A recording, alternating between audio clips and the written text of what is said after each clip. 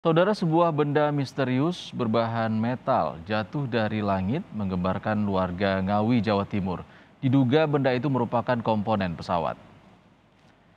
Warga desa Dawu, Kecamatan Paron, Kabupaten Ngawi digembarkan dengan jatuhnya sebuah benda dari langit di pekarangan milik warga setempat. Menurut saksi mata, awalnya ia mendengar suara mirip benda jatuh dari ketinggian, menimpa pohon setelah menemukan lokasi jatuhnya benda asing, ia pun melaporkannya kepada kepala desa. Polri dibantu TNI pun memasang garis polisi di sekitar lokasi.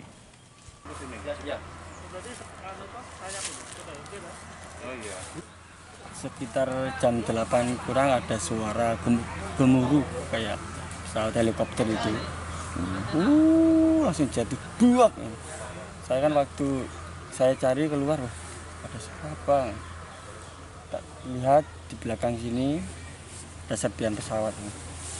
Hmm. Sebelum itu ada ini pesawat yang melintas atau? Habis ini jatuh sekitar 10 menitan ada pesawat lewat. Dalam pernyataannya melalui WhatsApp, Kapten Sus Yuda Pramono, pengganti sementara Kepala Penerangan Lanut Iswahyudi berterima kasih pada warga yang cepat tanggap melaporkan jatuhnya benda asing.